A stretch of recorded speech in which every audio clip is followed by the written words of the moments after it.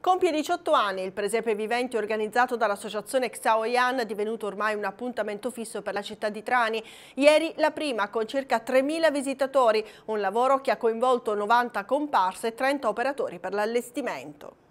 Diciottesima edizione del Presepe Vivente di Trani, si torna nella sede naturale, nella sua casa.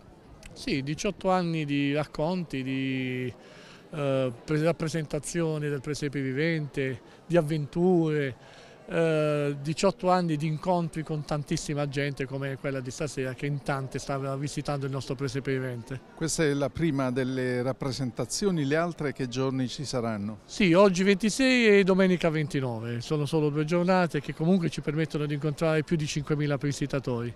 Solo oggi mi hanno comunicato che abbiamo superato le 2.500 persone. Quanti sono i figuranti? Quest'anno siamo su un'ottantina di figuranti eh, che animano le varie scene. In modo particolare ci piace evidenziare i personaggi che raccontano proprio la storia legata al tema di quest'anno, che è tutto dedicato alla luce. Ecco, eh, perché questa scelta?